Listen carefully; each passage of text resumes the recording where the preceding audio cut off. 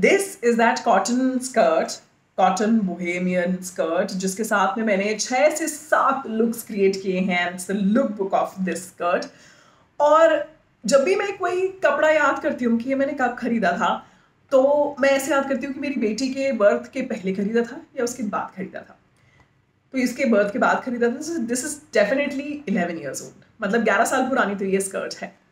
और ये छः सात लुक्स क्रिएट करने के बाद, मेरी लुक बुक के बाद मुझे लगा कि ओ माई गॉड दो और लुक थे मेरे दिमाग में जो मैं क्रिएट नहीं कर पाई because I was